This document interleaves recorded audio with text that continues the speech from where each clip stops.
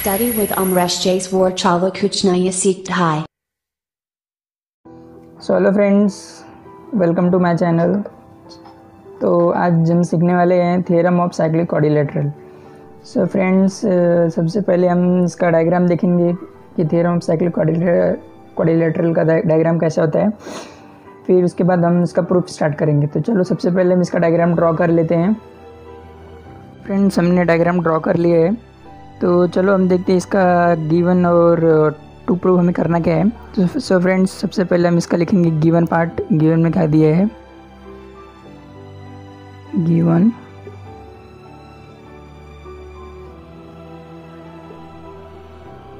सो friends में given क्या दिया है कि ये हमारे कोऑर्डिनेटर है, जिसको हमने A B C D A B C D mark किया है। और क्या हमारा है साइक्लिक कोऑर्डिनेटर है. Is cyclic coordinator so friends हमें टू प्रूव में करना क्या है? टू प्रूव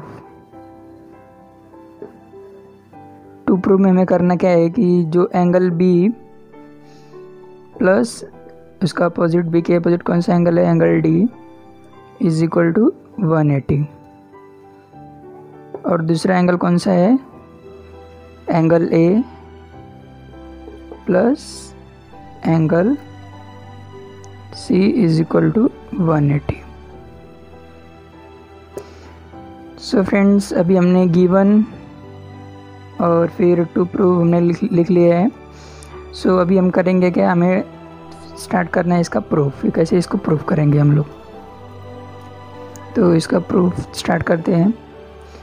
तो सबसे पहले हम लिखेंगे कि जो हमारा आर्क ए बी सी है arc A B C is intercept is intercepted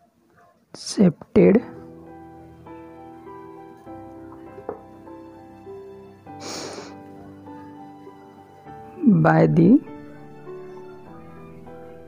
inscribed by the inscribed angle by the inscribed angle,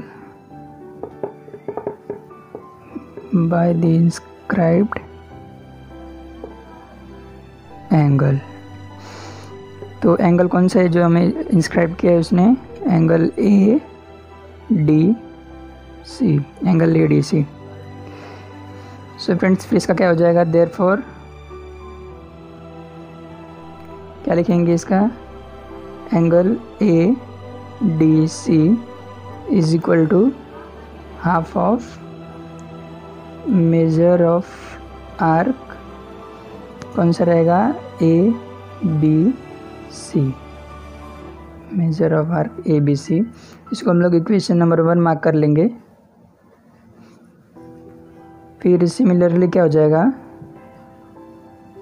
similarly जो एंगल ए बी सी वो क्या हो जाएगा? A B C is and inscribed A B C is an inscribed angle it intercept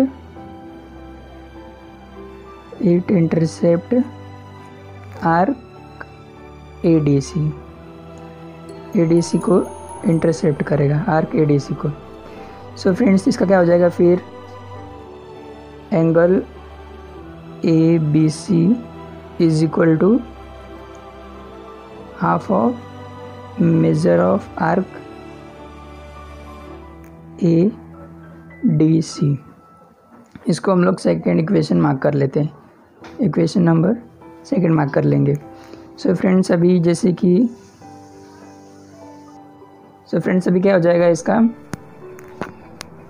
Measure of arc A D C plus angle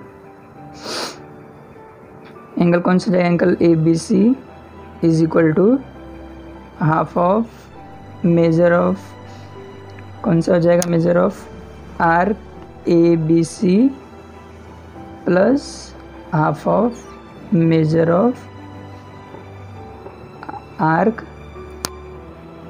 A D C arc A D C इसको हम लोग क्या लिखेंगे? From first and second हमें from first and second से हमें मिला है, जो हमारा ये इक्वेशन था। अभी फिर क्या करेंगे? क्या मिलेगा हमें? इसका half of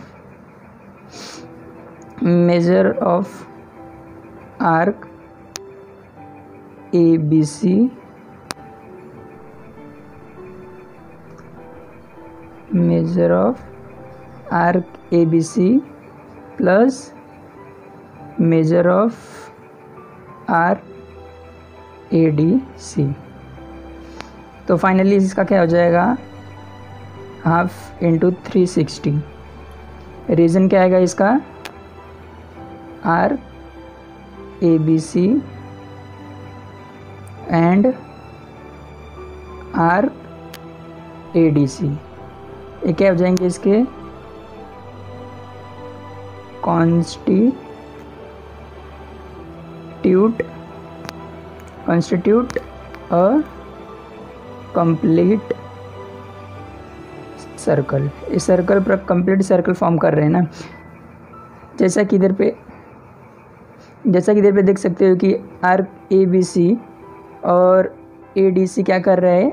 एक कंप्लीट सर्कल कंप्लीट कर रहे हैं। तो सो इस फ्रेंड्स उसके हिसाब से इसका क्या हो जाएगा? Arc A B C and arc A D C constitute a complete circle तो फिर इसका क्या हो जाएगा?